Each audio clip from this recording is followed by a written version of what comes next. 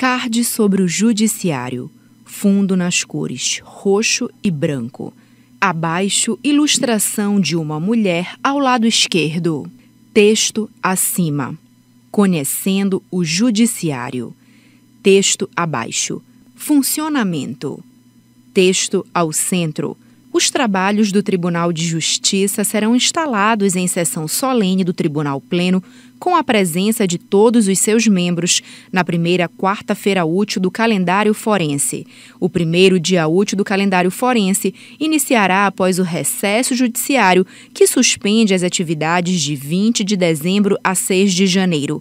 No período de 20 de dezembro a 20 de janeiro, todos os prazos, audiências e sessões de julgamento estarão suspensos nos termos do CPC.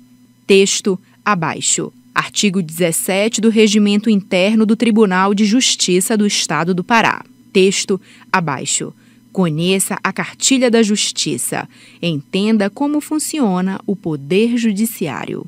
Abaixo, ao lado direito. Brasão do Tribunal de Justiça do Pará.